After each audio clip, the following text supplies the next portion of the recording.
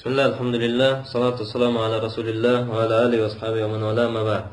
Продолжаем разбор вопросов, которые касаются продажи деревьев, а также плодов, также земель, домов и тому подобное. Говорит, ида аббара ба'дан нахаль дуна Если продавец опылил некоторые пальмы рощи или своей плантации, и некоторые из них не опылил. То есть, допустим, половина рощи оказалась опыленной, а половина рощи оказалась неопыленной. И деревья он эти продал. То кому остаются плоды? Говорит Мазабу Ахмад у Аксари Асхаби, аннама уббира лильбая, ва малам юаббар лильмуштари, лилайри хадис.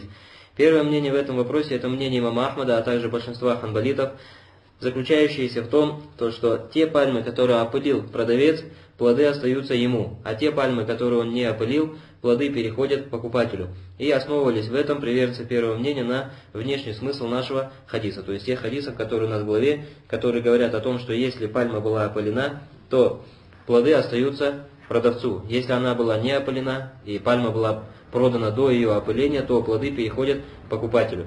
Говорит Ухали ибн Хамид аль-Ханбали, второе мнение в этом вопросе, которого придерживался ибн Хамид аль-Ханбали, аль-куль лильбая, сказал то, что все плоды остаются продавцу. Говорит Уху Кавлю Шафии, и это мнение мама Шафии также.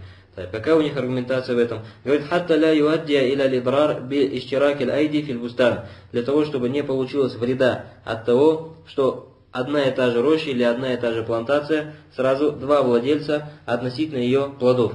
Говорит Фаюджа аль-мала миваббар табаан лима уббира. Сказали, поэтому то, что не было опылено, следует за тем, что было опылено в постановлении. وقد رجح العلامة ابن عثيمين القول الأول, говорит шейх Хамад ибн Хизам, и шейх ибн Усаймин в этом вопросе выбрал мнение первое, лилайр аль-хадис, потому что именно за него свидетельствует хадис пророка, саллаллаху алейhi вассаляма, о саваб, и это мнение действительно является верным. Нами нет проблемы, если в каком-то саду или относительно какой-то рощи или плантации сразу два человека будут владеть плодами, то есть один владеет плодами одной части, допустим, плантации, а другой владеет плодами другой части плантации. В этом нет ничего страшного, тем более, если пальмы отличаются одна от второй. И при продаже известно, какие пальмы конкретно были опылены, а какие опылены не были. Поэтому то, что опылил продавец, эти плоды он заберет себе, после того, как они созреют до конца. То, что он не опылил, и те плоды, которые появились на неопыленных пальмах, им, то их возьмет кто? Покупатель. Это по более правильному мнению в этом вопросе, за которое свидетельствует хадис